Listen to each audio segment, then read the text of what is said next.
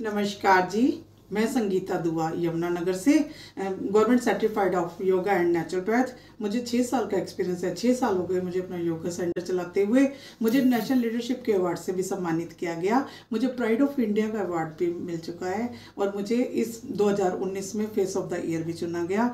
जो हमें ये सुनहरी अवसर मिला है, सतयुग दर्शन संगीत कला केंद्र के माध्यम से, फरीदाबाद के माध्यम से, ये दस दिन का जो सुनहरी अवसर हमको मिला गया कैंप के ज़रिए, मैं चाहूँगी कि जितना भी आपसे, जितनी मेरे पास एक्सपीरियंस है, मैं कोशिश करूँ कि ज़्यादा से ज़्यादा आपसे शेयर कर सकूँ। नमस्कार